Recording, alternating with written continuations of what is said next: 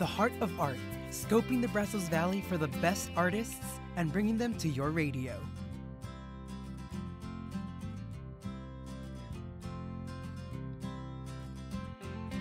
Ladies and gentlemen, your host, Hector Nino.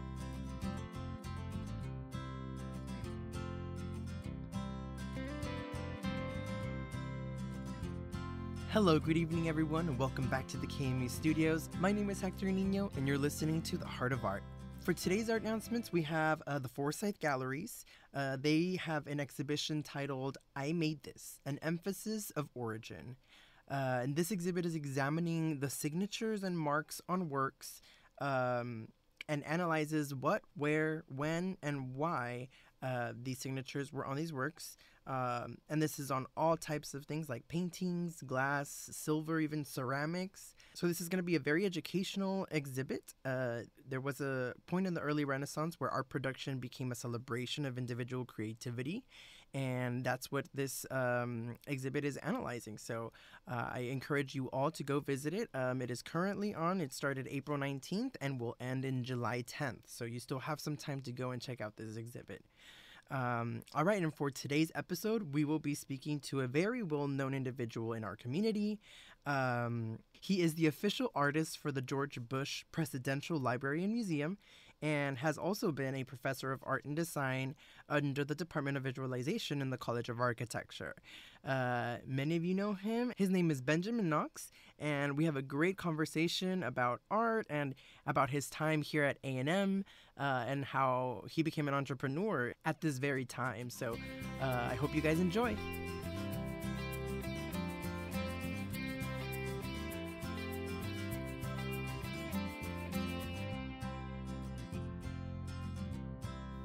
Hello, good evening, everyone. Welcome back to the KAMU Studios. My name is Hector Nino, and you're listening to The Heart of Art. Today in the KAMU Studios, we have a very special guest. Many know him as the Texas A&M artist, who is also a motivational speaker and owner of the Benjamin Knox Gallery and Art Center. His name is Benjamin Knox. So, hi, Benjamin. How are you today? Howdy. Yes, thank you so much for having me on the show, Hector. Of course. Thank you so much for stopping by. Um, I mean, I've seen your artwork all throughout my college experience here at A&M, so I'm very excited to have this talk with you. Okay, thanks. Yeah, and I'm excited too to share.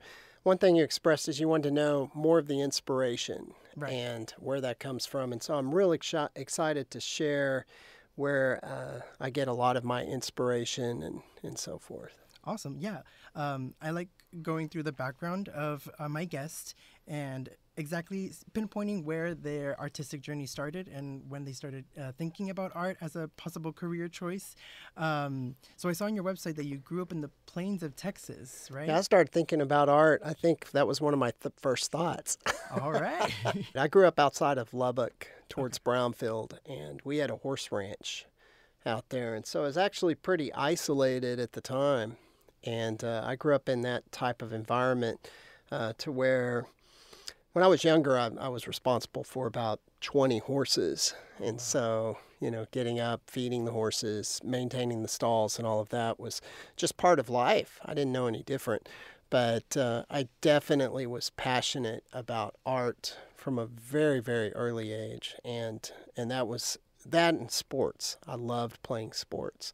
Right. So, but in that environment, there wasn't a whole lot of opportunity to have any type of um, mentorship or, or anybody to uh, to really help me, except for my art teachers at school, which I was you know so thankful that I had art teachers that could. Um, you know, see, I had a, had you know issues as a kid. I actually had um, dyslexia, okay. and back then they really didn't know how to you know what what how to deal with it and so they just send me to the art teacher or the music teacher because i also i love music. Oh. and um, you know it's it's just i want to shout out how important it is the teachers are you know and, and for the next generation how important that is. And and what it meant to me i mean you know my teachers uh, miss day miss caruth they uh, mr nitcher they were so vital to my development as a human being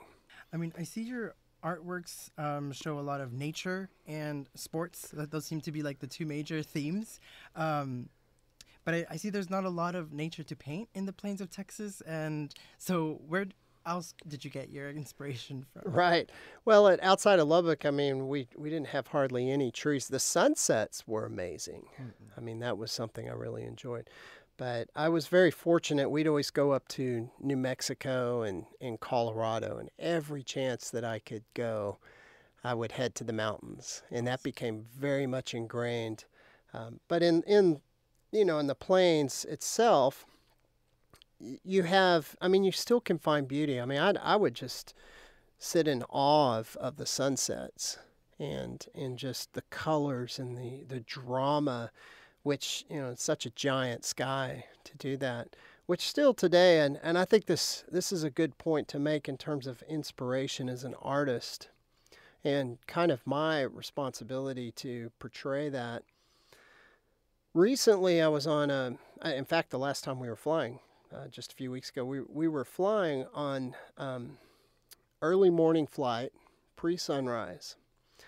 And, you know, you everybody sits back in their chair and goes to sleep and and they put the blinds down. And so I, I you know, I'm I'm always glued to the window. I open up the window and the sun's rising. The uh, you could see the coolness and the warmth intermingling you could see the colors intermingling where the clouds were, you know, this beautiful blue and then this vibrant red and yellow and just amazing colors. I mean, so powerful and, and just to watch and, and where I sat, I was able to watch the sun literally start to rise, come up, how it was reflecting in the water that was on the ground plane. And through all of that, it was just so emotional and so inspiring. And for me, I just get so excited. I'm just sitting there and, and I'm looking around and everybody else is just asleep, completely mundane, doesn't matter. And I'm thinking, wow, you know, a hundred years ago, everybody would have been glued to the window, oh, yeah. just clapping and yelling and going, oh my gosh, this is so beautiful. And now we've grown into a society where we're hurried, we're rushed we don't even think about it, you know. And I'm sitting here watching this absolutely spectacular sunrise right. and inspired by it. And so I feel like as an artist, a lot of times that's, you know, first off, we're, you know, I'm very sensitive. So I'm very sensitive to my surroundings and, and that interest um, fulfills me. And then it's my responsibility to portray that so that other people could go, wow. I, and, and so I think, how would I paint that? Then people look at it and go, "Oh my gosh, that's beautiful! Where'd you get the idea?" It's like I was on the same plane as you were, and you just weren't looking. right. Uh-huh. It's important the eye that, that sees the, the thing, right? Yeah, you gotta you gotta you learn to see. That's one of the things right. I tell my students. The first thing is is you've got to learn to observe and to see. And there's so much beauty around us. You know, even growing up in the plains, there was beauty. I mean, there's beauty with the horses. Mm-hmm. I just loved uh, loved all the horses and that that I took care of, and there was beauty in, in that. So you find you find beauty; it's there. Right. Um, that reminds me of I, I, pulled this quote from your website actually, and you said these factors created a longing in my very core to experience and paint the beauty of the world. So I think that's like a perfect example of you experiencing something and then having that inspiration to to paint it. Would you say that that is your purpose? Is to paint the beauty of the world? Definitely. Mm-hmm. Oh, yeah. I feel very much um, like it's a responsibility and a purpose. I'm very honored to, to be able to do that and honored that I found that at a very early age. I think that a lot of people, you know, they go through life going, okay, what am I going to do? What's my passion? You know, obviously your passion is radio mm-hmm. and your passion is to to learn and to to uh, transfix that information to people in a large audience over the radio. And so you found that. So how next thing is how do you self-actualize to mm-hmm. where you are uh, facilitating the best you can be in what you're doing. And I've always been that way in terms of trying to do my best and right. grow and develop. And I still am. I mean, right now, I, probably more than ever. You mm-hmm. know. Yeah. I mean, I'm still working on it, but yes. Oh yeah, it's oh, a yeah. great start. You know. Um, so we are at A&M, so I did want to hear a little bit about your Aggie experience and being here. I saw that you were in the Corps of Cadets. Oh yeah, Right. definitely. And what were your interests? What was your major here at A&M? So my degree, uh, my degree was in the College of Architecture, Okay. and I started originally with um, a dual degree. Back then, you could get in construction science and in environmental design, and uh, decided to just focus on the design element, the architectural component, to um, move forward. Um, I was completely on my own for school. So in terms of paying for school, I was I was pretty much on my own once I left home, you know, as and came here as a freshman. So it would there was no safety net. There was no um, nowhere to go really go back to at the time, and um, so I was so um, focused on how I can make enough money to pay for school. I mean, I had some student loans. Scholarships were tremendous. Um, I can't I can't say how important that was. Um, I mean, I can't emphasize how important that was back whenever I was starting off. I mean, every scholarship I got was so instrumental in in me being able to study and grow. But it, it still wasn't enough to cover all of your expenses when you're paying for everything. So I turned to my art by my sophomore year. Awesome. And so I started doing artwork for different outfits, um, which then transcended to doing T-shirts and posters and art prints, and it turned into a full-fledged business right out of my dorm room. You know, in dorm six, Lacey Hall, uh, room two ten. That's where I was, and um, and it was it was pretty cool to be able to to grow this. Uh, my outfit made a percentage of the sales. It enabled me to sign at the Memorial Student Center. Um, and by my senior year, it was a it was actually a very successful, growing business. I mean, it was like I had a lot of uh, people that were loved my art and were following, and and so um, Wow. so I continued to pursue that, and then do the architectural design stuff for fun, which I've you know done a lot of that on the side, and uh, but focusing on the the art itself, which is interesting because growing up, I was always told from most most people, most entities, um, that you cannot be successful as an artist. You can't make it as an artist. Right. Um, if you want to be successful, you have to use your art in some capacity, like architecture or in design, interior design, or something like that. That then you could be successful. So here I was, my senior year in college, having a, a very successful business at paying for school, moving forward, um, able to do, you know, a lot of cool things, and um, and then doing the design stuff for fun, you know, which is kind of opposite. Right. Yeah. I feel like most people experience that the other way, but you kind of had like a somewhat of a foreshadowing, I would say, of like your future in the art industry as well. Yeah, I, I was lucky. Um, I, I was very, um, im, uh, very much influenced by uh, comic books when I was a kid. That was kind of the only way that I could get any sort of art. Um, I didn't go, you know, didn't have a whole lot of museums, a lot of opportunities there. I, I didn't really have anybody to, to take me or show me, and which if I did, I think it would have would have changed. You know, probably sped up my desire and, and, and more that I learn. I would have learned more at the time. But comic books, man, you also learn about marketing. You learn about you know how they how they emphasize, hey, coming back for the next comic book, do this. Right. So I actually started in first grade drawing comic books, and then I started making my own. And I mean, it's and I I did an enormous amount of work as a kid.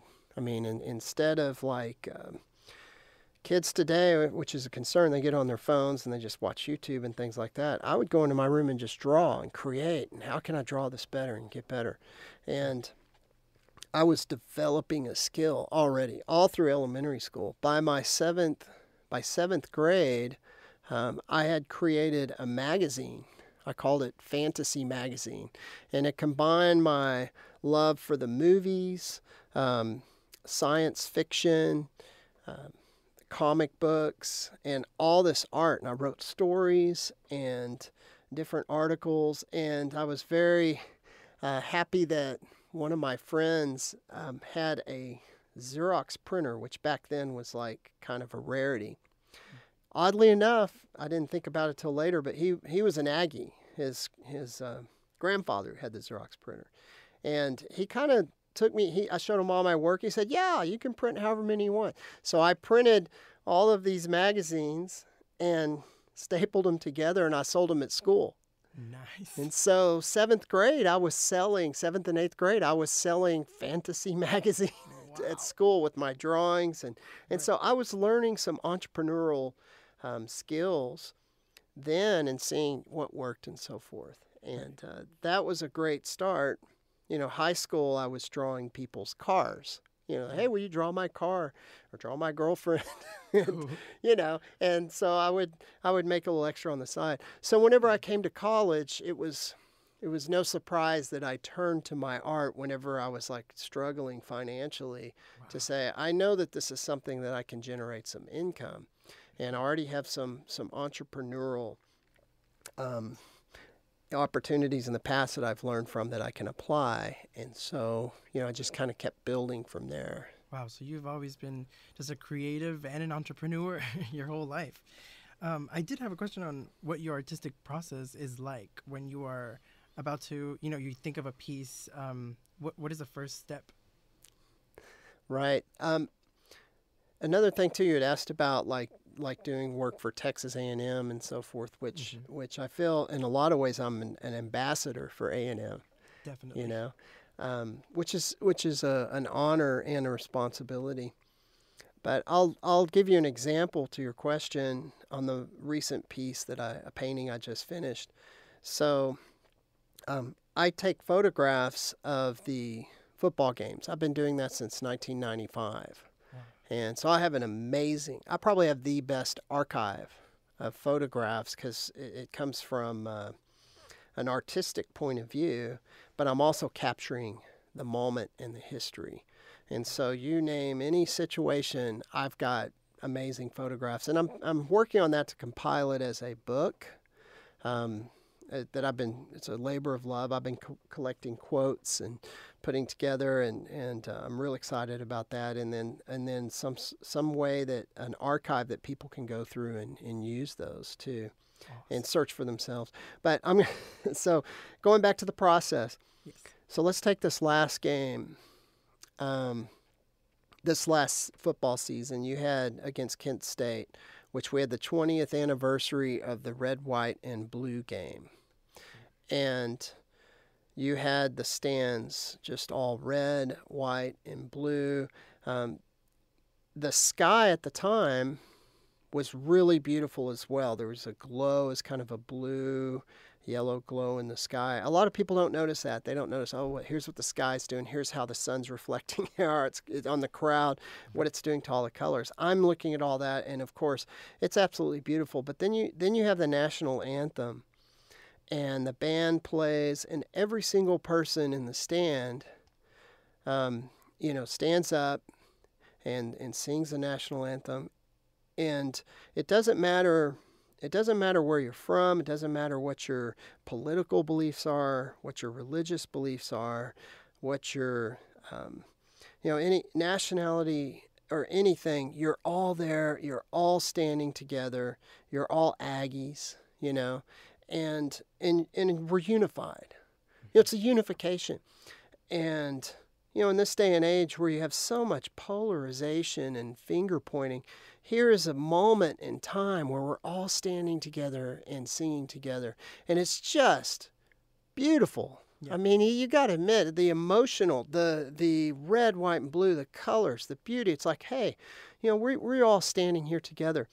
And so then you have reveille which is walking along with the handlers and I'm thinking, oh my gosh, what an awesome opportunity. So I say, hey, can I have you guys set Reveille up right here on the corner of the end zone and let me get some pictures for a concept I'm thinking?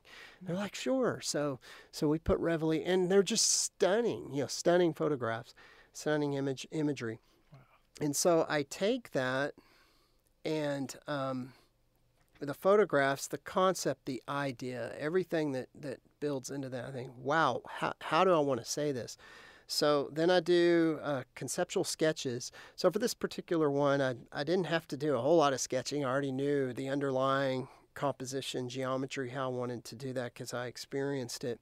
Mm-hmm. And, uh, and then I get the canvas, um, lay it out, um, do oftentimes I'll do like the charcoal drawing on the more elaborate pieces, and then uh, then I'll just start creating, uh, composing with the oil paint, and then I make sure I have all my color harmonies and putting it all together. So the piece itself then can say the message of what I want. Reveille is is the centerpiece of this particular painting, but it really is the you see the stands with the red white and blue and the band playing and the yell leaders that are leading and they're all standing there at attention. And it's really about the emotion in the scene and the fact of hey we're unified as aggies. And and so that is you know a goodwill positive inspirational piece you know and so all of the all of the uh, creative process is how can i say that the best. You know, how can I say that? And, I, and I'm real pleased. The, the painting came out great, and, and I'm real pleased with the overall impact that that it has and will continue to have. Right. That's that's beautiful. Thank you so much for for that story. Um, I do see that art has opened a lot of opportunities for you, uh, not only you know as an artist, but now uh, I see as a motivational speaker for events, and even you have opened your own gallery. Um, yeah, how did you go about opening this gallery? Why why did you think it was important for you to open it? Oh well, the the first gallery was out of my dorm room, and then I had a house uh, right over here on in uh, the south side of College Station. In 1993, I actually opened opened my own gallery, and then I wanted to bring back the College Station, the namesake of our city. And so, in 2001, um, I did a replica uh, exact replica of the college station, which was destroyed in 1966 because they wanted to make room for Wellborn Road. And so the original namesake of the town, uh, the college station, was destroyed. So I thought, I'm going to bring that back. And uh, presented that to. Uh, uh, my friend Governor Rick Perry, who said, "Hey, I'd love to be a part of that." He came and dedicated the. Awesome. He was the uh, main speaker to dedicate it, along with the president of the university, uh, both mayors of the cities, um, all the city council, and my guest of honor at the time was Margaret Rudder, who's oh, a dear wow. friend, and uh, and a lot of history there, Amazing. and you know her husband's James Earl Rudder, and so that was back in 2001 and the concept was you know obviously to open not only open the first artist gallery in the in the community, but it was to continue to grow and develop, um, which become which then became an art center. Uh, we've had some amazing exhibits there. For example, we had um, uh, Miss Renoir, uh, the granddaughter of Pierre Auguste Renoir, uh, she presented photographs. Who's the French impressionist, along with Monet, Manet. It's interesting when we uh, when we advertised that. We said, "Yeah, we have a Renoir exhibit with Miss Renoir speaking. A fantastic, sweet lady, mm-hmm. uh, who's who lives in this community actually." And we had, had we had all the photographs and we had the prints and things that they uh, they um, created from the Louvre and so we've done a lot of things. We had kids' art camps and art classes, we had live music. Um, we opened the first wine bar in the area as well to try to develop the culture uh, cultural aspect of it. So my um, original thought with opening the gallery was creating a uh, place to showcase my work, but it just evolved to where it became more of an art center. We rented out for special events. Um, we have exhibits, all of these different things. And it, it kind of became a struggle in recent years when you had the massive economy drop and you've had COVID and you had all these things that have just constantly pounded right. against trying to maintain, you know, an arts center in in a community. Um, you know, I'm I'm not I don't have any sort of funding or, or assistance in that. It's all it's it's something that that we you know pay for ourselves, and so we're completely reliant on on ourselves and things like that, and so that's where now we're having to reevaluate and think how we're going to um, shift our focus so that we can be more effective to, for national um, growth, future growth, and, and the endeavors and things that we want to do. So we're, we're going to, we will be in a, a pretty large state of transition, mm-hmm. you know, coming up again. Well, I wish you all the success in, in your endeavors. Oh, thank you. Yeah. Of course. Um, do you have any upcoming dates that you think our audience might benefit of knowing about? Well, we just released a, a, lot of new exhibits and, and paintings. So we have a lot of things coming up in the fall. Okay. And uh, and so we will definitely let you know as those things uh, transcend mm-hmm. as we get closer. And uh, and also I want to emphasize too. We didn't touch on it. I know we're getting close, if not over time. I wanted to emphasize as well a key component in the success of of my art career and of the business and so forth has been something I integrated into my business philosophy from the very beginning back when I started in 1988 when I was in the Corps. And that came from reading a book by Zig Ziglar, which is the more people that you help, and the more that you can help others, the more that it comes back and helps you. And I integrated that and I thought, okay, how can we do that? So we we do donations and all types of things for um, scholarships. All the scholarships I received, I've started scholarships mm-hmm. in in you know in those in place and, and then some and, and continue to um, help. But we do donations for all types of um, charitable events and and scholarship fundraising and things that can make a difference and help people by donating the artwork.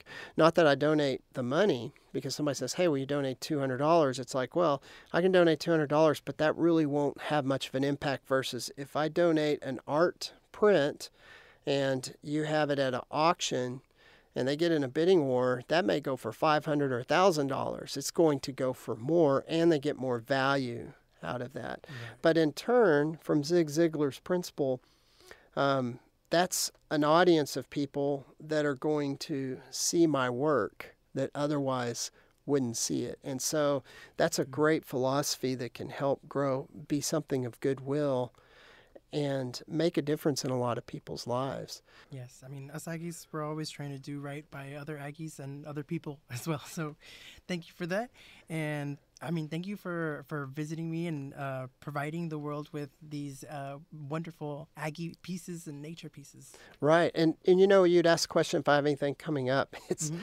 I, I have a lot of things coming up in the fall with exhibits and so forth. But I mean, if people can go to my website at benjaminknox.com, mm-hmm. Easy, and and we announce everything there. We do we do plan on coming out with a. Um, a new newsletter or mag e magazine, okay. uh, something to come up so that people can have more connection. All and right. so now that we're coming out of the darkness of being in COVID and all of the stuff that's kind of kept us, suppressed us. Now we're saying, okay, we want to engage and move forward. So we're excited about the next steps and next phase. And I appreciate you having me on. Hopefully, this is uh, helpful, insightful, and, and fun you know. Of course, yeah, and I encourage people benjaminknox.com uh, to stay updated on anything that's going on in the galleries. Well, thank you so much once again. You bet. Thank you.